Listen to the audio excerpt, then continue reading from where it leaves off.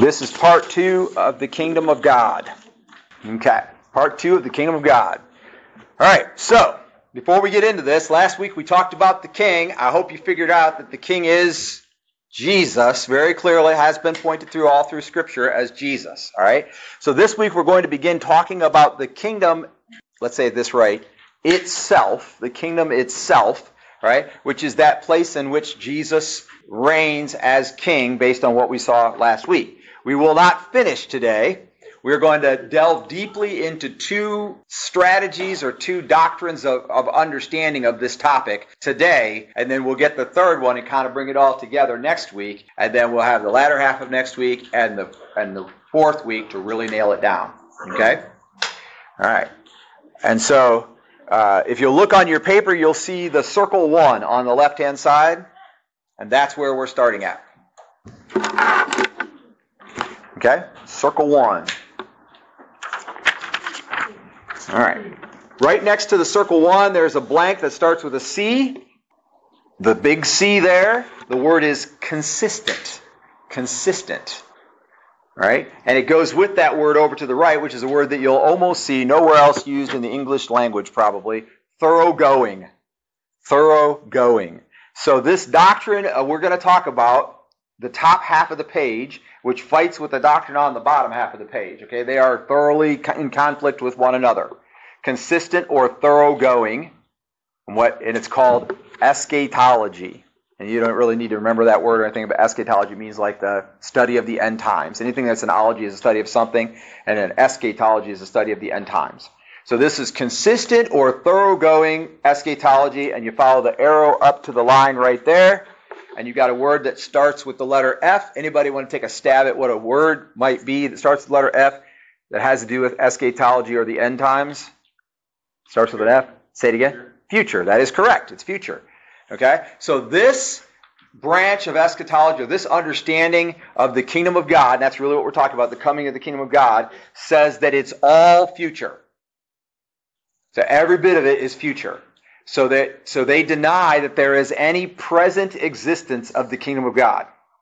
Okay? So it's consistent or thoroughgoing eschatology, and it's all future. And we're going to see how they do that. Follow the arrow up around to the left. Okay? And the big place that they start is the Lord's Prayer. And that three lines right there where it says there's nothing on the first line, then it says L and P, it's the Lord's Prayer. So if I say the kingdom of God is coming in the future. What about the Lord's Prayer says that? Somebody knows the Lord's Prayer, right? You know the Lord's Prayer, don't you? Our Father who art in heaven, hallowed be thy name. Thy kingdom come. Well, there it was.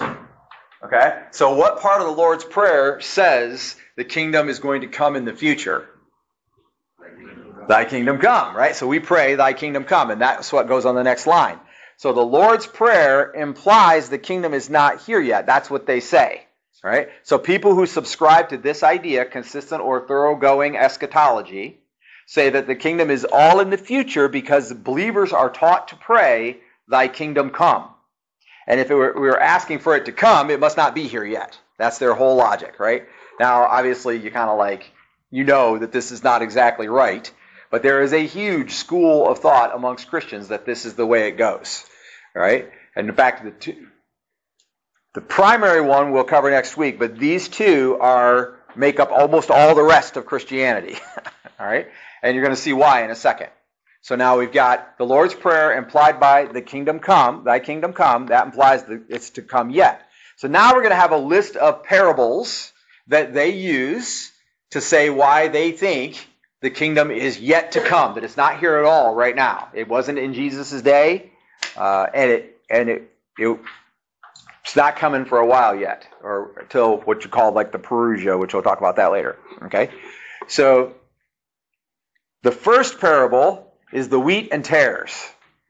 So somebody tell me just a little bit snippet of the wheat and tares. How can the parable of the wheat and tares be talking about the fact that the kingdom of God is going to come later. That it's not here now, it's going to come later. What do you think? Is that the one where he's they're traveling on the road? Nope, that's the um, parable of the sower. Okay, so the wheat and tares, they're going to plant the field, right? He goes, buys the seed, gives it to his servants, he goes to plant the field. What happens in the morning when, they, when the seed starts to come up? wheats and tares, right? So not all good. It's some, and they say, well, it must have been something bad sown in with the wheat. This bad seed, they, they inflated the seed with bad seed, basically. And he says, they say, should we go out and tear out the tares? And he says, no, don't do that, because if you tear out the tares, you'll tear out some of the wheat with it, right? But at the end, at the harvest, then we'll kick the tares out, we'll take those out and burn them, and we'll harvest the wheat. So now what does that parable say to say that the kingdom of God is yet to come? How could you use that for an argument for that? Not a rhetorical question. I'm confused. That's why. Okay, so if the parable says, to, in the parable, where are we in the story? The wheat and the tares are in the field, right? Yeah. That's where we're at. They're starting to grow. So wheat and tares are growing up in the kingdom of God, or except they say not the kingdom of God. Then they say the kingdom of God is going to come at a certain moment in time when, I'll give you this one, I'll just explain it, and maybe the next one will kind of come a little easier.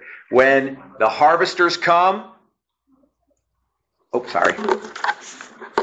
When the harvesters come and they take the good wheat into the kingdom, and the tares they burn.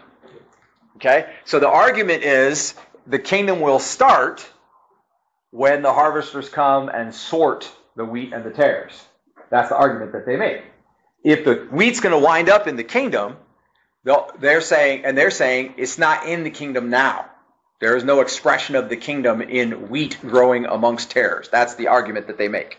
Okay? So let's take another one. Does anybody know the parable of the dragnet? That's the next one. The next uh, on the next line is the dragnet. Dragnet is one word. What's below thy kingdom come? The wheat and tares. So it goes the wheat and tares. That that little squiggle is an ampersand. It's called an ampersand. It means and. It's not a very good one, but it's there. Okay? And then the next one is the dragnet. Does anybody know the parable of the dragnet? It's a less known parable, I'll tell you that right now. Go ahead. You know it, Tony? He throws the net out there and catches a bunch of fish, and then all the fish he collects them, the ones he wants keeps, and the ones he throws away. Okay, so the ones that are good, he takes them in. The ones that are bad, he throws them away. So how could that parable argue for a future kingdom? There will be a time that the bad is tossed out, separated.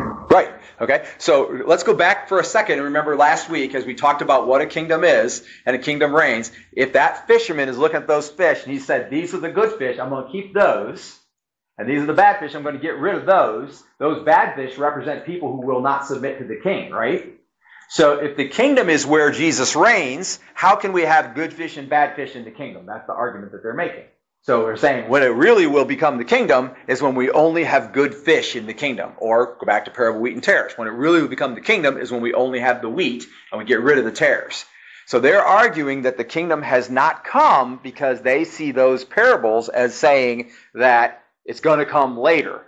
Okay? We'll follow a little bit further on. The next one is the ten virgins. Parable of the ten virgins. Okay? Going right down that list. Ten virgins. A virgin is a young woman, probably a young woman who has not had intercourse with a man, right? So the ten virgins, does anybody know the parable of the ten virgins off the top of their head a little bit? Don't need a lot.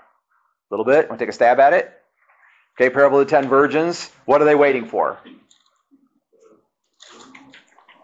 What are the ten virgins waiting for?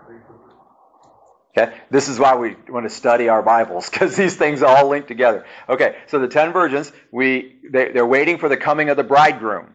They're going to celebrate the wedding, right? And they've all got lamps.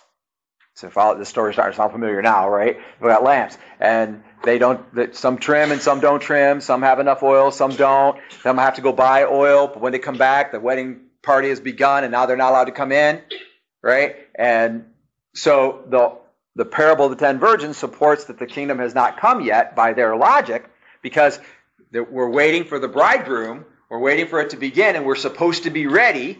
And once it begins, either we'll be ready and be in or we won't. Okay? And that's what they're, so then these people who argue for consistent or thoroughgoing eschatology say the kingdom of God has not begun yet. It's all future. Okay? The next one is the parable of the talents. Do we know the parable of the talents? It's actually two different ones, actually, parable of the talents, right? Parable of talents, you give s- talents of silver. Is that the one with the old lady gives like a small? Nope, that's, actually, that's not a parable. That's an actual story that Jesus observed, right? Yeah. Yeah. Yep, yep, yep, yep. Yeah, and two times he tells the parable of the talents twice, right? And two times both they get given silver, and then go. He goes away. He comes back, and what happens, Tommy, when he comes back? Uh, two have invested it and made more, and one buried it, and And didn't. Right. Okay. pays the ones that invested it made more money, he pays them more, and then he takes away the money. Right. And then he casts that guy out.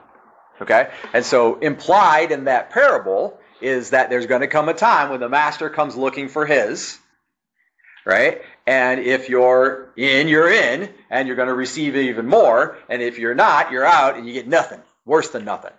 Okay? So again, they they take that parable to, to say that the kingdom is yet to come. Okay? And then that last one there, where it's got the dashes, if you'll count the dashes, it's F U T U R E. And the main point of consistent or thoroughgoing eschatology is to remember that the kingdom of God, that place where Jesus reigns, they say, has not come in any semblance at all. They are consistent to. Say again? F U T U R E. Future. The word future. Okay? But we're not done yet, as you can see. Okay? So we're, we're following down to the right. We see the word Jesus. See the word Jesus there next to future? Here is the thing. They say to make this work that Jesus was mistaken. So you can, you can put mistaken on the line. And what he thought was that the kingdom of God was going to come in his lifetime. But he was wrong. Now, I have a problem with that. Um, I know that Jesus said, not, you know, all the seasons and times are not even for me to know, right? I understand that he, he, he limited his knowledge while he was living on the earth. I understand that. But, just, but they need Jesus to be mistaken about the coming of the kingdom of God, which I would be okay with him being mistaken about the coming of the kingdom of God, but what I would have a problem with would be him being mistaken about the kingdom of God and preaching that it was going to come. Right? If he didn't know, or if he thought, well, I think it may be coming very soon, that would be one thing. But for him to preach it consistently that it was coming, and actually to use a phrase that says, uh, has come or has drawn near, right? To use a, a phrase that's translated, that's tough. I have a problem with that. And so that begins to poke a big old hole in this idea of consistent or thoroughgoing eschatology because you need Jesus to be mistaken in order for it to work. Okay, but they say he was. So they have no problem with that. Okay? All right. So we're going to go out to the right, following that arrow out to the right there. So we're up at the top of the page. You got an M and a blank. And the M is the reference, Matt or Matthew. Okay? And it's Matthew 16, 28. So does anybody know off the top of your head about what's going on in the Gospels in Matthew chapter 16, verse 28? It's the last days, that's what it, of course, it's around there. Mm, Last days are really heavy in 24. Twenty-four, got it. Yeah.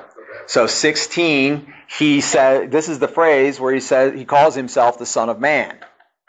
Okay? And they use this to say, when Jesus says, you'll see the Son of Man coming, that's what he says in Matthew 16, 28.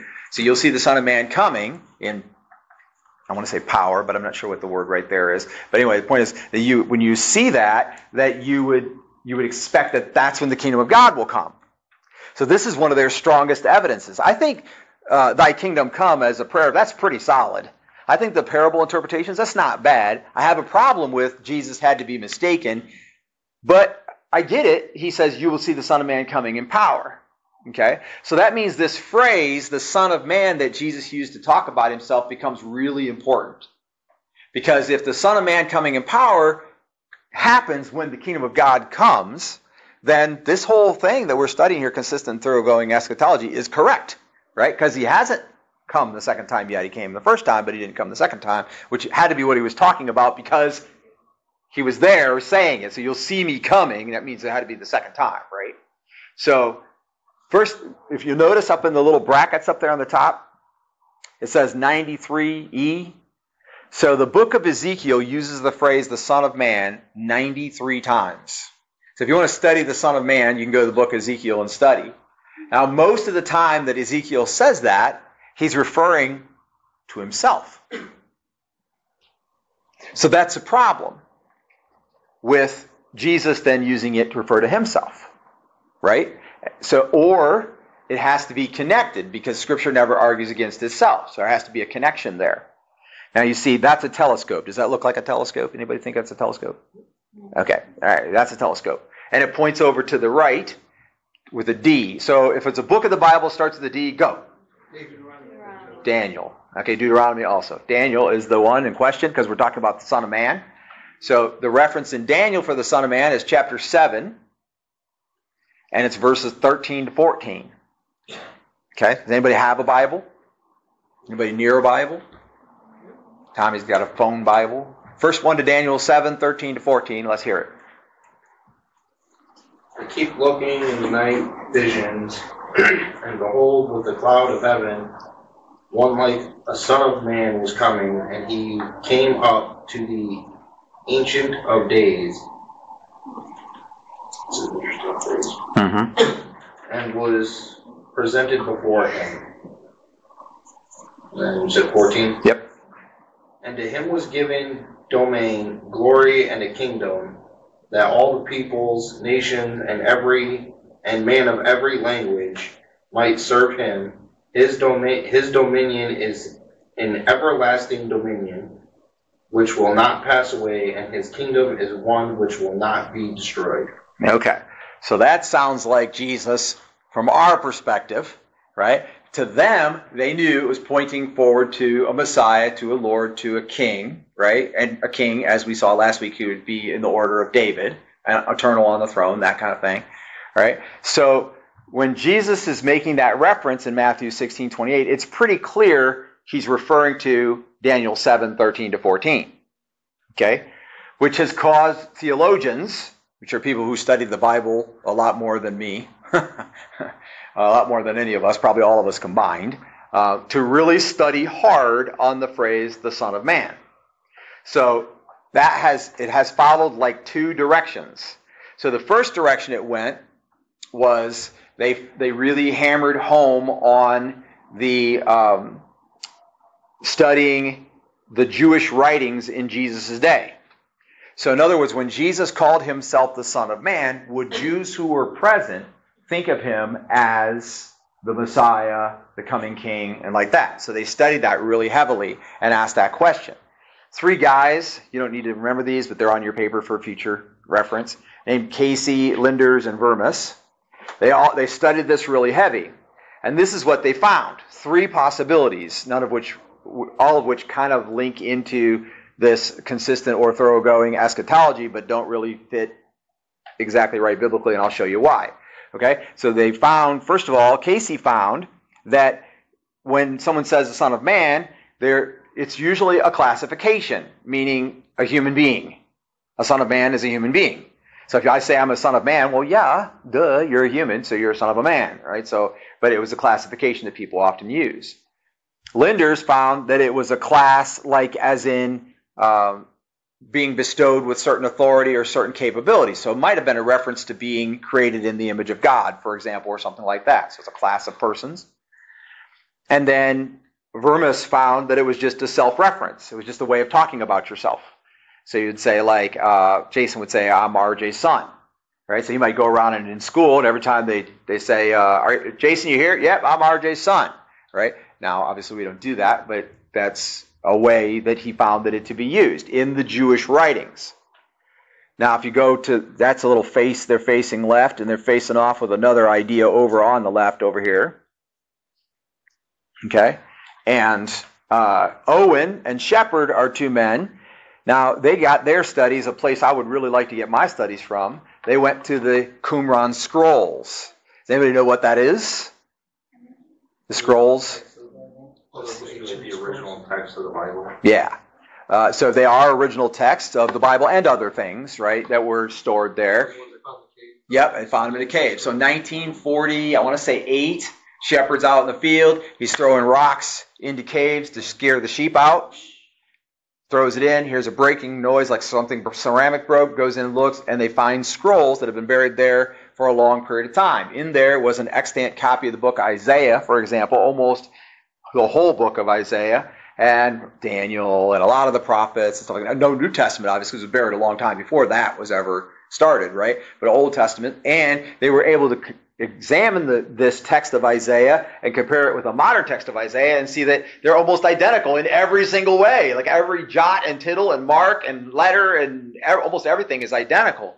And if there was anything that wasn't exactly identical, there was nothing that changed the meaning at all or even came close to changing the meaning. And so that's really powerful because that takes the Bible. So most of the copies of the Bible we get come from later texts that were after Jesus right? They're Old Testament, but they're they're they're writings that copies that came after Jesus. We have thousands, thousands of copies of texts, and then uh, but this one came from way before Jesus, and yet the writings for hundreds of years were perfected.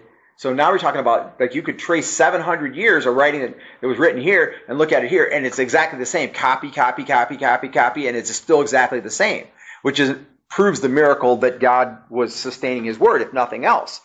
Point is, that's where they studied to, to look for Jewish language and how it would have been. And Jesus would have been studying texts like that as he was growing up as a Jewish boy. That's the kind of things he would have had. And so guess what they found? They found that it was never used as a self-reference or a self-title ever in any writings that they found in the Qumran scrolls after they studied them thoroughly. It was never, and it was never used as a generic reference for a human. So that totally threw out what these other guys said, right? And then now you follow it down to Daniel 7, and you look at the context of what's going on in Daniel 7, because that's where we're getting Jesus speaking the Son of God, the Son of Man phrase, right? So you're in the context. Does anybody know what's happening in Daniel 7? Anybody remember? This is what I call one of my favorite stories, right? Because it's it's the book of Daniel. It's what I read before I got saved that I couldn't understand. Yeah, it's from there. Yeah, it's not seven, but it's right before that. Right? Good stuff. Yeah, so so he's in seven. He's literally having a vision, but the the context of two through seven is increasing pressure, and that's what goes on those blanks. Increasing pressure increasing pressure against the Jews to do what? Increasing pressure against the Jews to do what? Fast to eat veggies. I might get confused with Veggie so they were. So they said. Um, how about I'll give you one. They said, "Our God is able to save us from the fiery furnace, but even if He does not, we will not what? Yeah? We will not what? Bow down, comply, right? So there's increasing pressure against the Jews to worship idols or false gods. That's what was going on in the context of Daniel 2 through 7, really. Increasing pressure against them while they're in captivity to bow down. In this particular vision, then, when you get to 7, there are there's a ten horned beast, and you got a little ten there, H, and after the H goes horned. Ten horned beast. Okay? And the ten horned beast is beating a snot out of God's people. And I'm using not, not literally, right? Figuratively. But you, you, they're beating them up really bad, for, trying to force them to worship false gods. And then comes another little horn. The LH there is little horn. Okay? And that's the beasts, and you see the arrow down reminding you the beasts, come against God's people, trying to force them to worship false gods. In the middle of that, Daniel sees a vision of the court and thrones. And the Ancient of Days becomes seated on the thrones.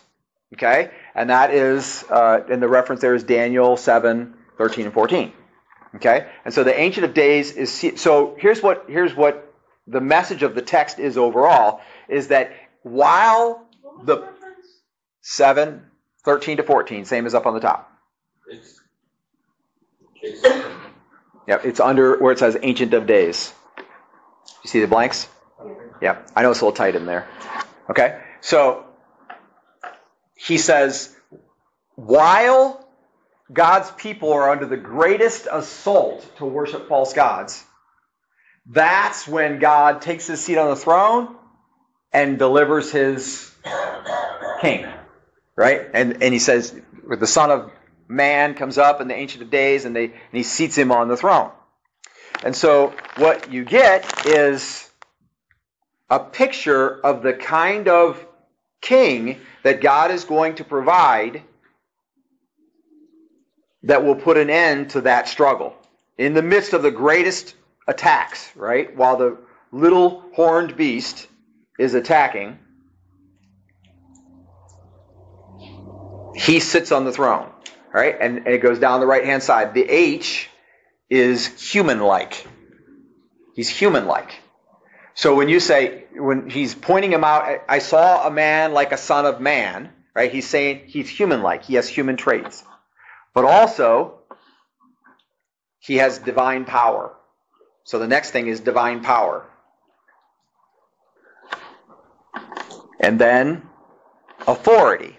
So these are all things. Remember the, the verses that RJ read, right? So I saw a son of man sitting on the throne. He sits him on the throne. This is all while the ten horned beast and the new little horn are wreaking havoc and rage against God's people. The court, the thrones, the ancient of days, and he is seated, a human like person with divine power, authority, glory.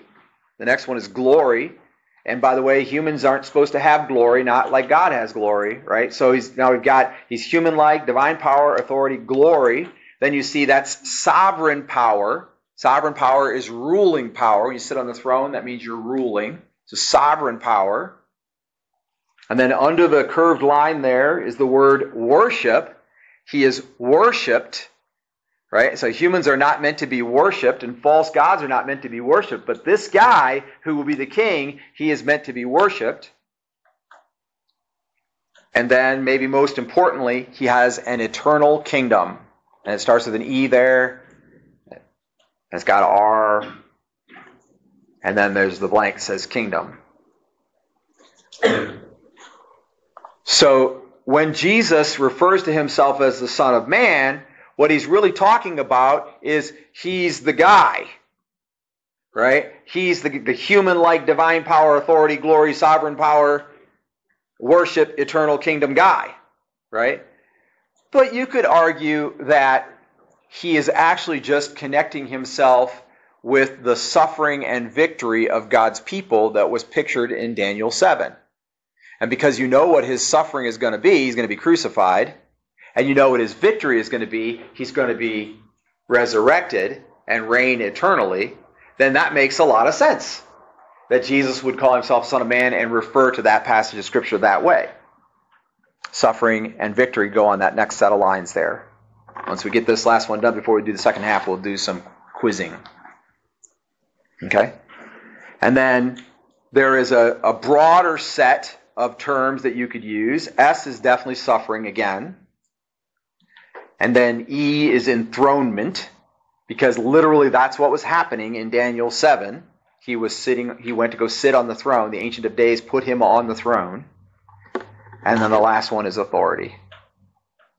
So Jesus was connecting himself, whether you want to say he was connecting himself with the broader category, human like, divine power, authority, glory, sovereign power, worship, eternal kingdom, all of that, in light of the suffering and persecution. Or if you just want to say he was resonating with suffering and victory, or he was resonating with suffering, enthronement, and authority, which applied to him, any of that works. Okay? So, I have a few questions, then a brief summary, and the bottom half will go faster. All right. So, first of all, Jason, are you with me? Yeah. All right. Um,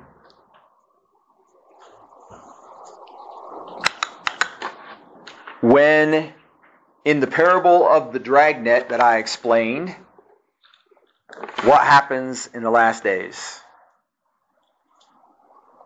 The blank is on the left hand side. It's one of those parables. What what is the end of that story? The dragnet. It's not written on the page. You're going to have to remember. Don't remember? Oh. I know he takes the good fish and makes the bad fish. That's right. He takes a good fish, gets rid of the bad fish. Very good. I got one for you and one for your buddy. Okay, good job. He, he pulled it out of his mind. All right? Okay, Natalie, how many horns does the beast wind up with in the middle there? He started with 10, but then there's a little horn. You count that one? So it'll be 11. 10 horns, and then you got a little horn too, so that's 11 horns. Okay, Danny. Ready? Um, in Daniel 7, there's something happening to God's people that precipitates this story, and it, it's written right under Daniel 7 there. What is it? Can't read it? Okay, can you help him? They're doing it by committee over there, still struggling. Under Daniel 7. It Starts with, an, it says IP, so it's going to be IP, and it's not an IP address either. What you dealing with right now? Pressure. I would be scared, man. Okay. I want to. All right. What's the reference from Matthew up to the top left of the telescope?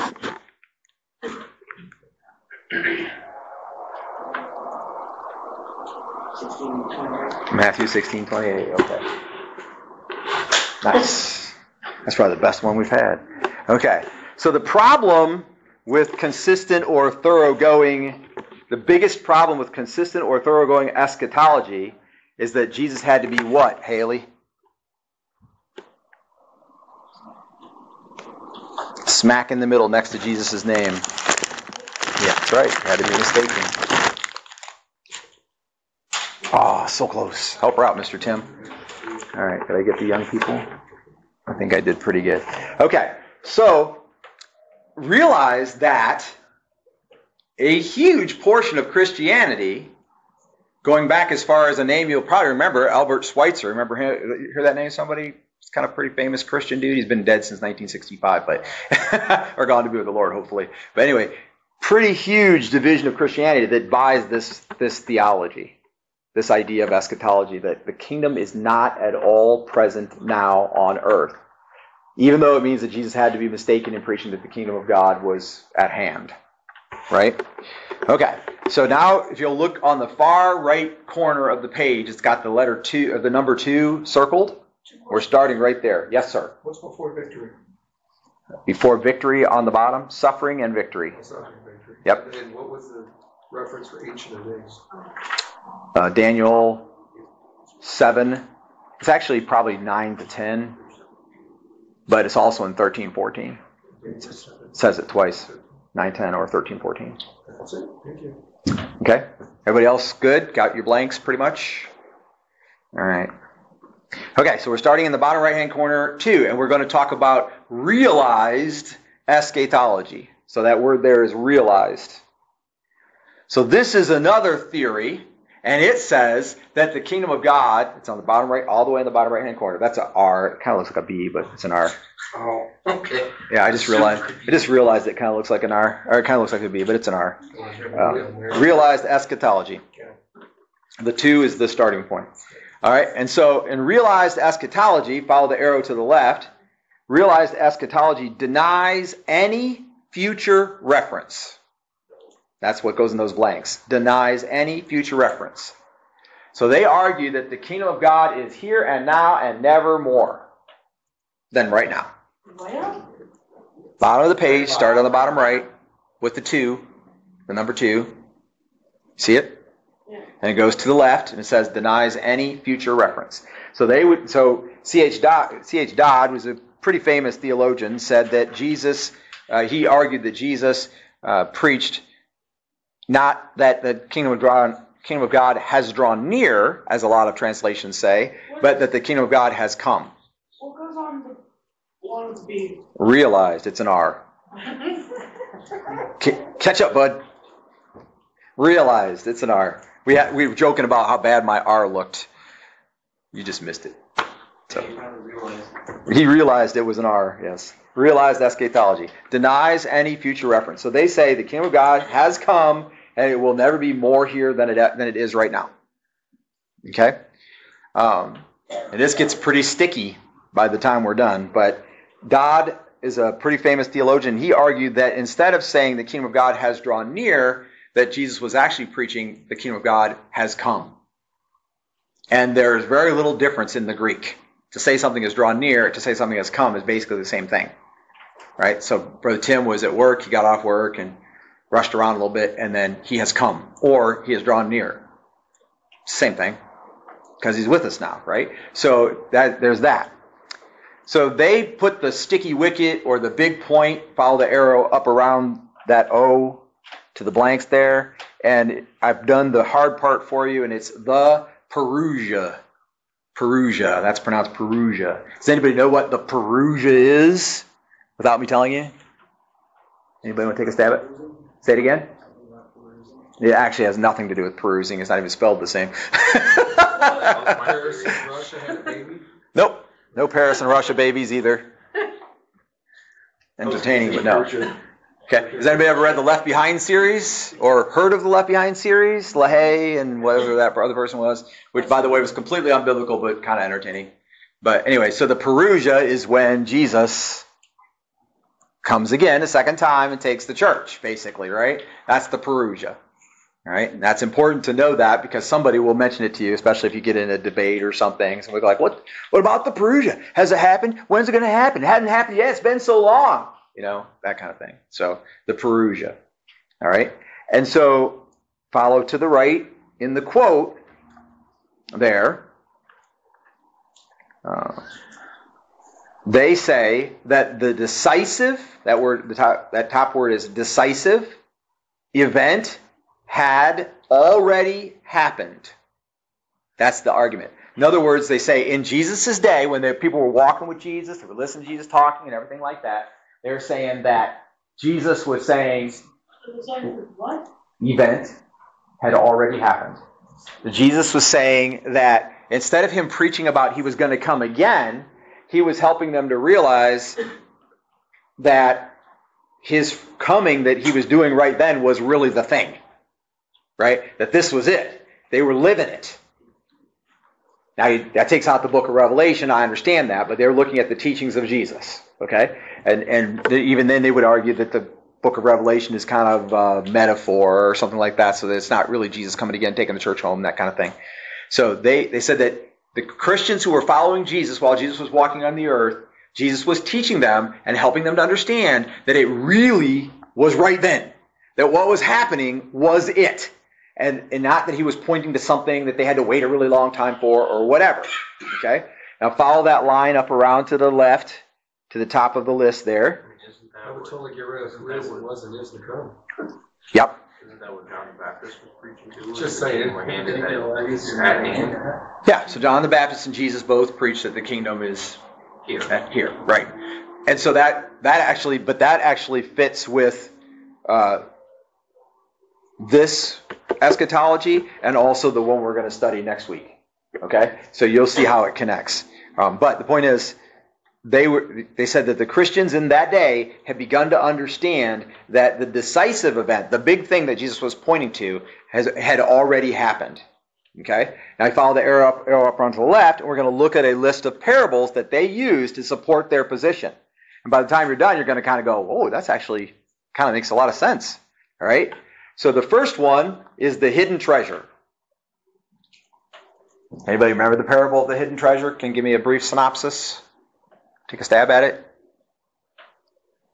Eh, person sees something in the field, wondering what it is, and he goes and looks, sees a treasure, so he goes and sells everything he has to go get it. So Right.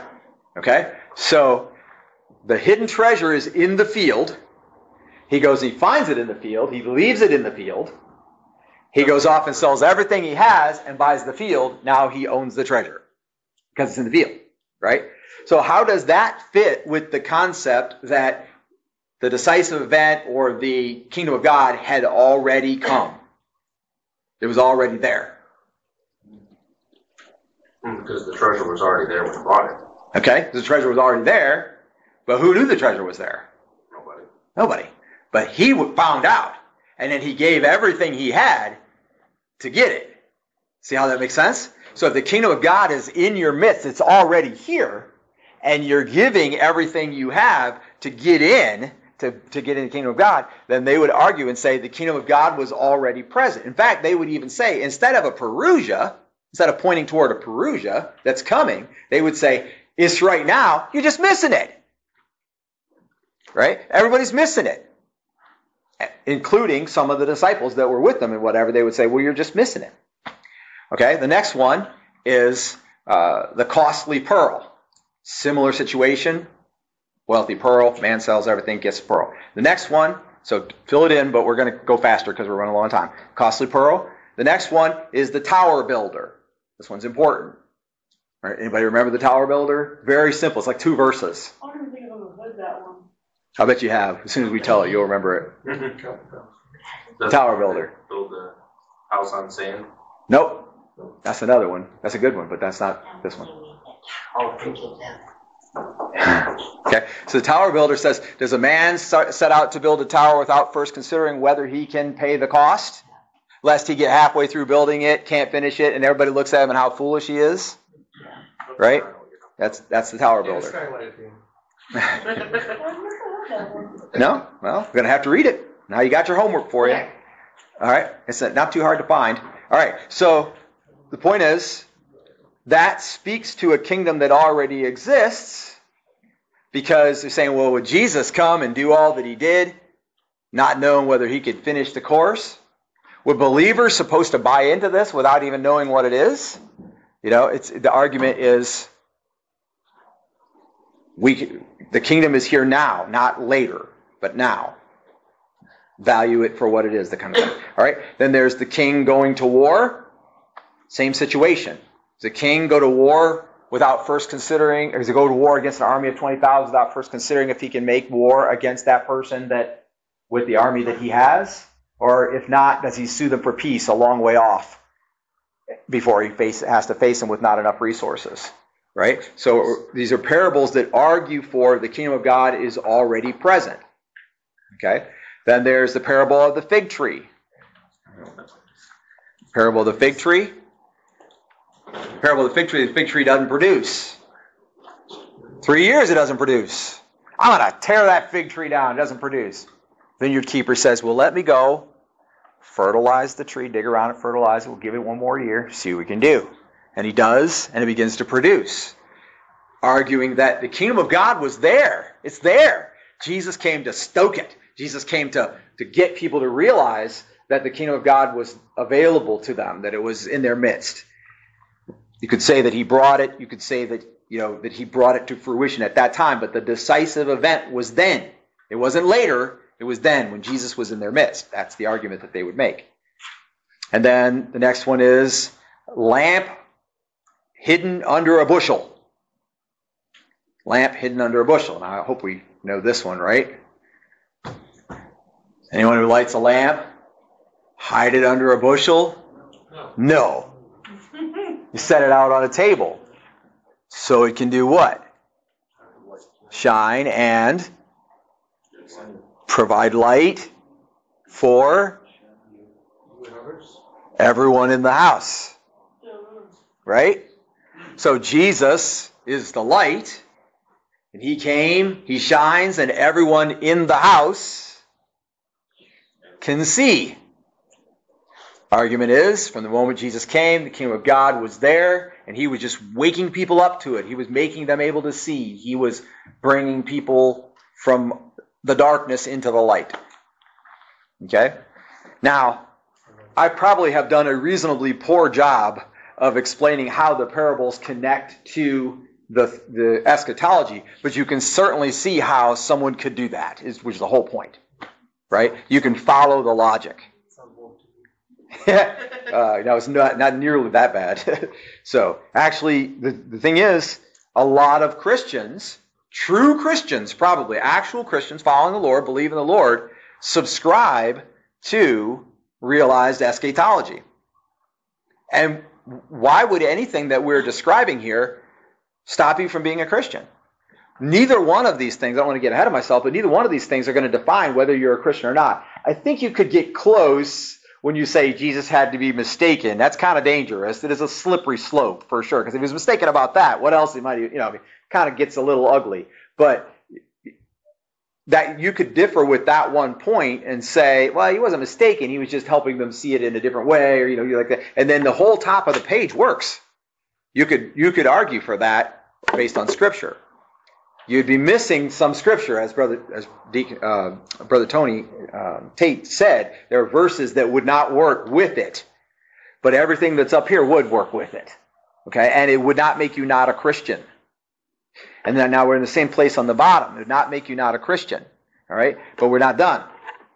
So then we've got that arrow out to the right to the blank, and it says equals. Okay?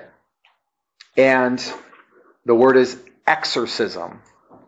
What does exorcism mean? Somebody shout it out. What? Yeah. Yeah. Remove evil spirits or demons, right? So I guess technically you could probably exorcise an angel. I don't think that's a thing. I don't know, but you, exorcising angel spirits, uh, evil spirits and demons is definitely there. But anyway, so it's exorcism equals. This is the argument they make: Satan's defeat. So they're saying that when Jesus and the disciples and the apostles and those who came after and Paul and others in the name of Jesus and all that kind of thing, all the exorcisms that were happening were happening as signs of Satan's defeat that Satan had been defeated. Okay? And therefore they were arguing that the decisive event, the defeat of Satan, which was in the coming of Jesus, had already happened. You'll recall Jesus saying in his lifetime at one point, I saw Satan cast down from heaven, that old serpent, right? And so they, they use these texts to support that the kingdom of God has already come. Now, they extend it to say it has already come in its fullness, completely. They say there is no future reference to the kingdom of God. That is too far for me, right? But the bottom line is they would say exorcism is Satan's defeat. And they say, in the next one, I gave you a lot of little clues there. Uh, I'll go and you kind of like try to get the next word. It'll be like a little game, okay? So it's the arrival. The first word is arrival of the kingdom. Next word. Anyone want to take a stab at it? Messiah Say it again. and the Messiah. No, it's in the. You got that? So it's arrival of the kingdom in the. Nope. Although you could kind of substitute that word. Close? Nope. It's a weird word. In the midst. Very good. Midst of conflict. How do you spell that? Midst is M I D S T. Midst. What? Midst. M I D S T. Now remember Daniel 7? The context of Daniel 7? 2 to 7 was the Jews were under great pressure to worship a false God. Remember that? And Jesus identifies himself as the Son of Man who comes in the moment when they're under great pressure to worship a false God. Heavenly court is taking its seats. Jesus takes his seat as the Ancient of Days sits. Jesus sits. He becomes that human like divine power, authority, glory, sovereign power, worship, eternal kingdom. Right? He's identifying himself with coming in the midst of conflict. And they say that exorcism equals Satan's defeat and would not be possible if Satan's defeat were not complete. And they say that that is a sign of the arrival of the kingdom in the midst of conflict. Okay? So understand this about these two eschatologies. Even though they are very common, if you talk to Christians, if you talk to 20 Christians, and talk about these things in generic terms, because most people are not even as equipped as you are right now to handle these types of topic, okay? Because we're doing a higher level of deciphering in this set of lessons. But if you talk to them in generic terms about the kingdom of God and where it's at, what it's like, whatever, some of them will say, Oh yeah, the kingdom of God came when Jesus came. He said, "Kingdom of God is at hand." He said, "Drew near." Whatever. It's been here ever since then, and that would be the bottom, right? That's realized eschatology. Others will say, "Well, no, the kingdom of God comes when Jesus comes again." So that's why we got all this messed up earth. It's so bad. We got all these problems. Right? And he talked about, you know, uh, we pray, "Thy kingdom come." We're hoping for that day when it comes. Blah blah blah. You know, so But the numbers go like this. Out of 20 Christians, two or three will believe the bottom one, and two or three will believe the top one, and the other 14 will believe what we're going to talk about next week. Okay? Now, you have to decide where you come down at. But wherever you come down at, understand this. It's not going to change whether you're saved or not. That has to do with whether or not you've placed your salvation in the hands of the one who can preserve it until that day. So if you're trusting in Jesus and receiving him as Lord and Savior, then you're saved. And if you're not, you're not. And either way, there is an eternity. Neither one of them deny that Jesus is the eternal king and there will be essentially one kingdom, Jesus' kingdom. And if you're not part of it, then you'll be part of eternal separation from God. So you'll be in hell instead of heaven, right? Neither one of them deny that. In fact, uh, they would say, for example, um, that the, the ones who say that the kingdom of heaven is now present, it would say the kingdom of heaven is now present on earth as much as it ever will be, and it will be in the new heaven and the new earth when God remakes the whole thing, right? But there's no Parousia. That that was all about a metaphorical language, whatever, about what Jesus talking about his coming. So they don't really believe that there was a second coming. It was decisively done when Jesus first came. Okay, so you have to decide where you fall, but don't make your decision yet because we're going to hit the third one next week, which will then cover 100% of what Christians believe, and you'll have to decide between the three. If you want to ask me which one I believe, I believe the one that we're going to look at next week. Okay? So that that is where that falls. You um, can't mistake in the sign together, it just don't work. Here, yeah, that really, I struggle with that, yeah. But, so if you notice in the middle of this page, there are two men fighting it out. In your mind's eye, I want you to understand that those are both Christian men. So, what am I warning you against? In all of this, what am I warning you against? What? Yeah, that's what I'm warning you against. We believe a certain set of doctrines as a church, but if you differ on one of them, it's okay. Now, if you differ on how to get saved and who is Lord and the things that you're supposed to do, you know, as He's commanded, like He's commanded us to do this or don't do that, and you say, yeah, He said don't do that, but I don't have to listen to Him or whatever, then that's going to be a problem, right? That's going to make it not possible for you to fellowship with this church in the long run. If you think, for example, you can have sex outside marriage, that's going to be a problem. It's not acceptable. If you think, for example, you can just blow off tithing or giving and, and not have anything to do with that, that's going to be a problem right? If you think, for example, you can lie or cheat or steal, then that's going to be okay. It's not going to be okay. And the reason that is, is because as a church or as a people of God, we submit to the Ancient of Days. And He has set a standard for what's acceptable and what's not. And when you do what's not acceptable, or when you fail to do what is desired, that's called sin. And sin places a barrier between you and God. But guess what does not place a barrier between you and God? What you believe about doctrine. That's what does not place a barrier. So if you are a consistent and thoroughgoing eschatologist, I actually said that word on the first pass. That was impressive. If you are, I'm going to say it again because I loved it so much. Consistent or thoroughgoing eschatologist. See, I did it twice. Anyway, then when you get to Jesus, as long as you know He's Lord, it's all good. You know why you're there, how you got there. You might be a little confused about why it's so much better there, or what you know, or why uh, things change between now and then because they are going to change between now and then or whatever. You might be a little, you might have to research your doctrines a few more times if, if it doesn't line up or whatever. But if you know who he is and you do what he says, you're going to be fine. Okay? Uh, close with this illustration. I went to I went to actually interview to be a family youth and families pastor in Memphis, Tennessee, outside Memphis, uh, Tennessee, many years ago now.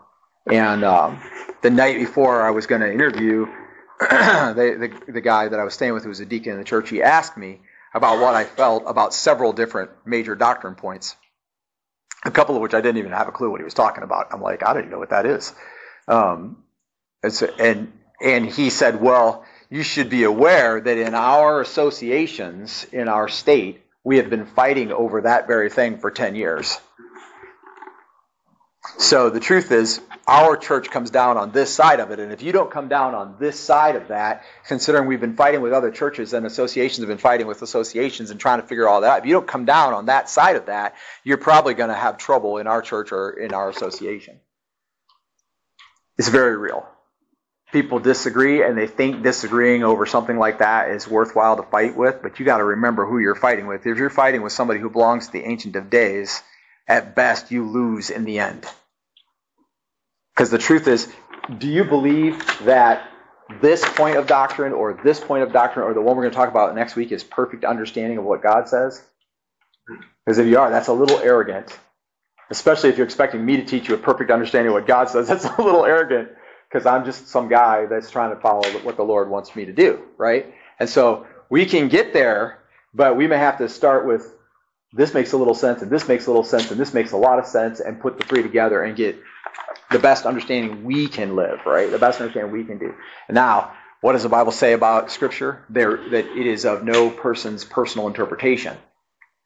So, guys get together, they talk about the Bible, 5, 6, 8, 10, 50, 50,000 guys, whatever. We might get a pretty good understanding of Scripture all working together. But if you go home and you read it and go, I, I know exactly what that means, and I got this nailed, and then you run to somebody else that thinks it means something a little different, and you got to push your ideas on them, and you're willing to pick up a sledgehammer or growl or grunt at them or get mad at them or kick them out of the church, whatever, because they believe a little bit differently, you got a real problem. Because Jesus came to bring, he, he is the uh, he is the King of Kings. He's the Lion of Judah, but he is also the bringer of peace. Remember what Jesus, what the angel said about Jesus the night before, or the night that he was born. Goodwill, peace on earth, goodwill to men. With what? With whom God is well pleased. Men who sinned against God, men who would cry, Crucify him, crucify him, men who were thieves, men who were contentious and arguing over all kinds of dumb things. Just be careful who you pick to be your enemies. If they want to be your enemy, you can't do anything about that. You want to be their enemy, you got a problem. You you work on being a follower of Jesus, and then and then don't worry about like divisions over doctrine and stuff like that. Okay, but do follow the Lord, because otherwise you're in trouble. All right, we're gonna close in prayer at this time. Um, remember to get your three-hole punch and with a binder if you're keeping a binder. And remember to kind of give me a heads up when you get close to seven in a row if you're keeping that, or seven total if you're not able to get them in a row. Father in heaven, we praise you and thank you that uh, we can look long and hard at events that happened almost 2,000 years ago. That we can consider um, studies by people who have spent hours and hours. Uh, some of those men whose names are on this paper paper uh, spent decades studying, and they would and they're studying like 40 hours a week, and we're studying maybe a few hours a week, um, Lord, and they would do 40 hours a week for decades to conclude um, opposite things. And um, and I, I'm guessing because I believe they were, you know, professing Christians anyway. Certainly, and a lot of people believe that that they could sit down at coffee or lunch, that they could pray together, bless one another, show up for one another, help one another, encourage one another, even though they disagreed on whether the kingdom of God was already here in its fullness and never going to come any more than it already is, or whether the kingdom of God was yet to come in its fullness and it wasn't here at all. Uh, those are pretty radical positions. That's part, part of why we took them first. But the real lesson to learn, Lord, is that you are God and you know better than we do. And we submit to you today, tomorrow, and always. We pray this in Jesus' name. Amen.